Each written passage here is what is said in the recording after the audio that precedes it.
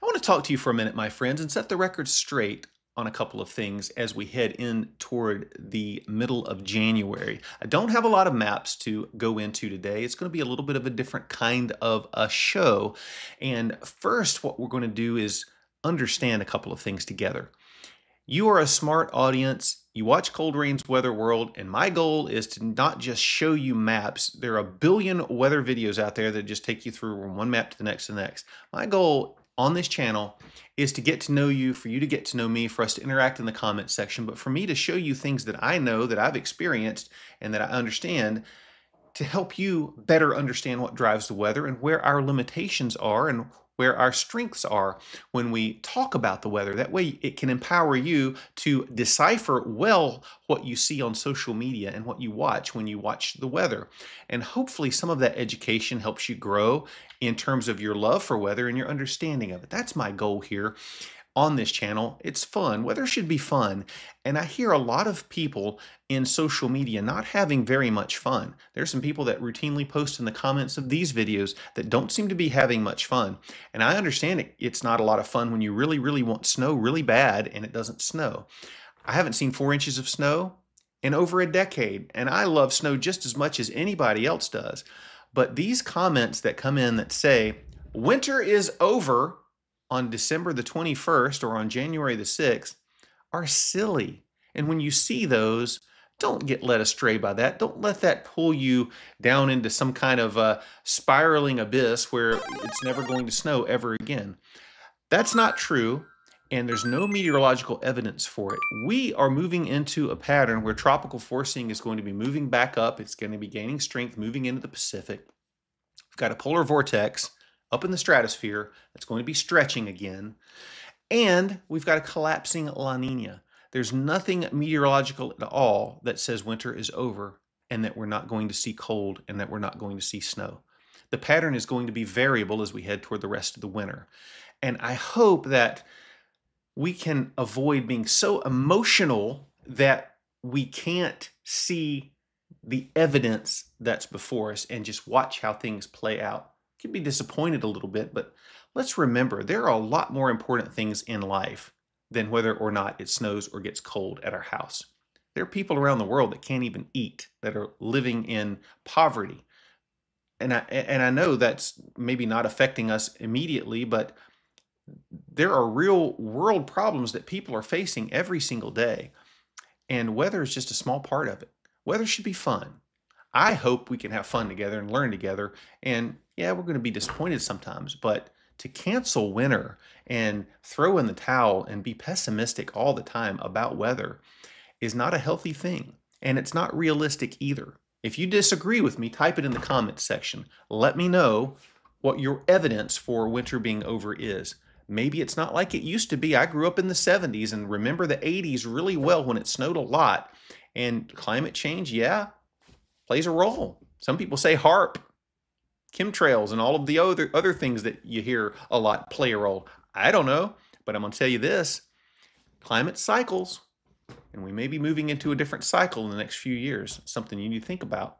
So, in any event, don't get too depressed about the weather. There are some things coming up, and I'm going to show you here in a minute that I think will hopefully give you some reason to be a little optimistic. This is the temperature departure from normal for the month of December. Can you see where the cool weather was? Yeah, it was up here across the plains, back into South Carolina and to the north and to the east. Whites, normal, and Yellows and reds are above normal, and that's what we had for December.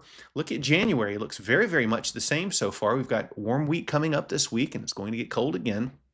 But here is the same sort of a departure with the exception of the Tennessee Valley. Okay, you see that? So you have a, a, a real uh, beef out here in the Rockies and into the West. You folks out here are below normal in snow, I know. And uh, some of the Sierra Nevadas and Cascades are picking up feet of snow, but a lot of other folks have seen less snow than they normally do, and it's been warmer than normal. But there are some things changing in the pattern, and we're going to take a look at that. Normally, what I do is I show you ensembles, we don't use operational models to forecast way out in time. We are entering, though, into a pattern that is going to be highly volatile and small scale changes can affect the overall pattern in a huge way.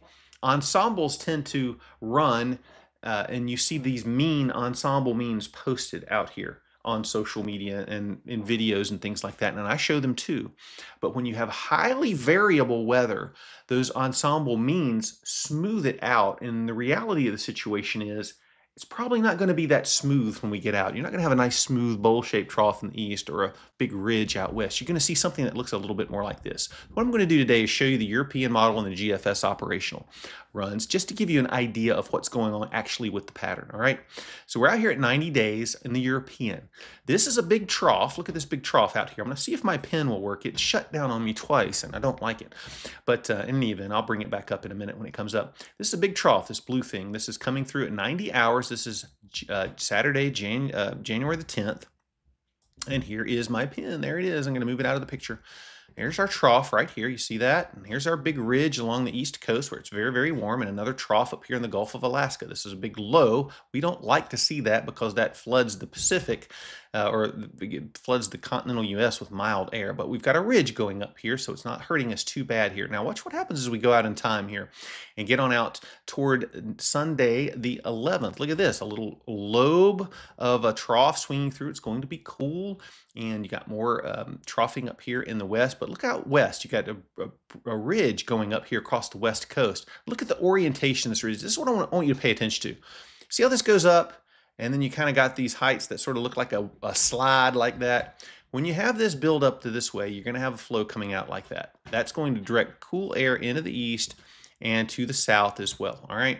That's what happens in 174 hours. Now we get on here to 198 hours.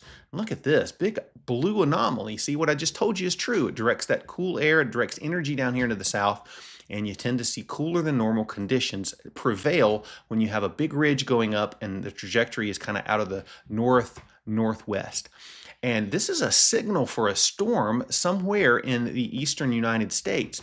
It's not lined up perfectly, but it wouldn't take very much of a change in the interaction of pieces of energy in the southern jet and the polar jet and the arctic jet, all of that to come to play to create a storm system out here. As a matter of fact, if we take a look, I'll show you the I'll show you in just a minute how that plays out. Uh, in any event, we got another trough coming in, another ridge. That ridge continues to maintain on the west coast, but look what look what it does. You see how this ridge sort of rolls over, it kind of wave breaks like this? When that happens, it sends the energy back to the west. Some models indicate this happening and some models keep this ridge more upright. That is a big, big difference maker at the end of the day. The ridge rolls over, energy gets trapped out underneath it, and you get more of a ridge response to the east. But fortunately, in the European model here anyway, it builds back up as we get to 282 hours, and you get uh, that response like this. You get that trajectory back out of the north again. That's a pretty big ridge. And as we go on out here toward the end of the run, look at this, another big signal for a trough in the east. That would be very, very cold. Ridge continuing to poke well up into Alaska, sending air out of the north across the pole here into the south.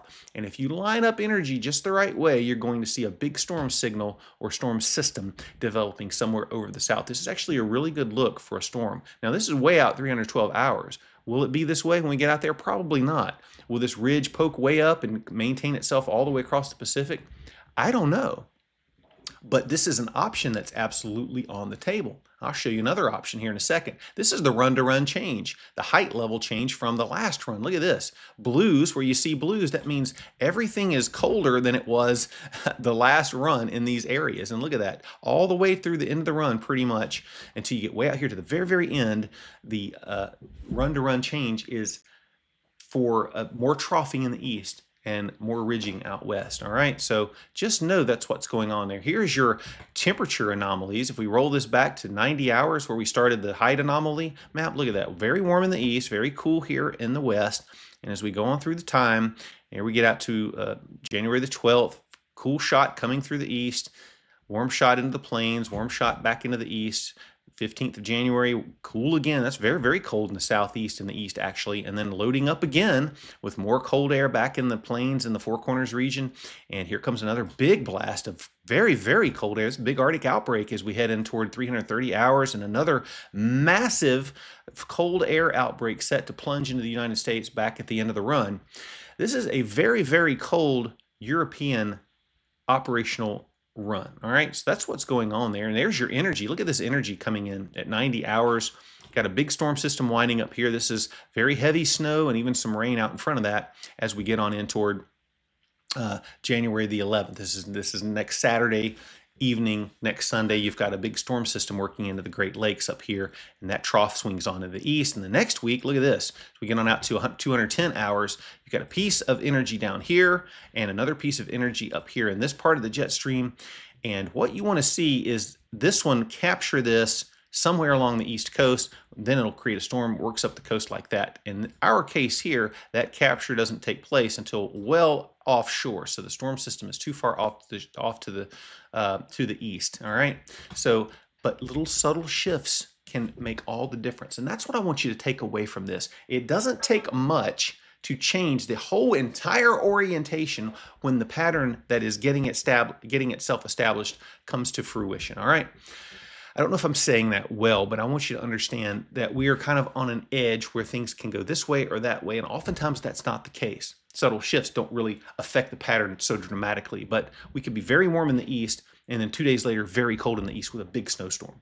So you're not going to have a lot of skill in these long range models outside of five days or so. There's too much energy. There's too many different things setting up in the pattern to keep the skill level low. Here's the GFS. Look what the GFS does.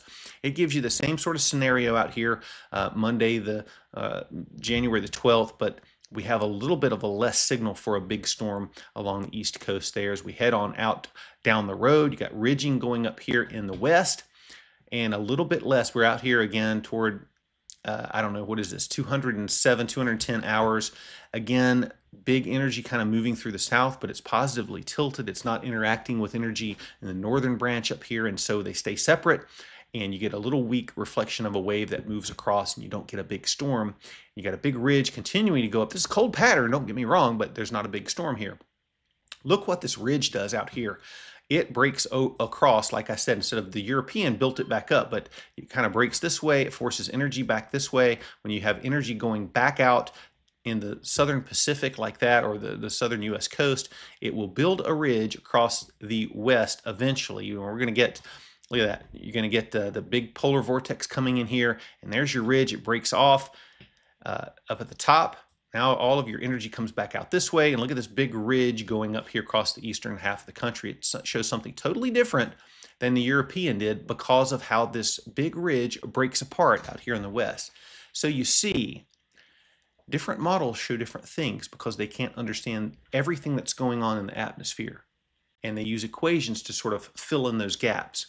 And because they're projecting and predicting that compounds out in time. So you understand there's no way to predict it, but what I can tell you for sure is that the pattern coming up is going to be very, very, very volatile. And we are going to see cool shots and warm shots, chances for storms, chances for dry. It's going to be up and down, at least for the foreseeable future. So there are going to be chances that it gets cold and snowy. And I want you to know that. And as we go on out in time, we'll look to see if the pattern can stabilize and we start to see these ridging and blocking features set up and begin to become stabling, stable in the modeling. But right now, that's not what we have. We have a highly variable pattern. You cannot cancel winter and do so with any sort of rationale. And you can't say that it's going to for sure be cold and snowy and the rest of the winter either. All right. So that's where we are. I just want to bring a little truth to it. I want to help you understand what's going on. There are a lot of different features kind of flying around. And that's what we do here. Let me know if you got any questions in the comment section. Subscribe to the channel, and we'll be back tomorrow with a more normal video, and we'll have kind of a look at the rest of the week. You know, that still holds what I showed yesterday, so you can check that video out too. But uh, like like the video if you like it, and let me know if there's anything I can pray over for you. I always want to keep you in my prayers, and I do every day. If there's anything specific, let me know. Pray for me and our family as well. In the event, I'll talk to you again tomorrow. Hope you have a great night. We'll be back again tomorrow with another update. Take care, everybody. Bye.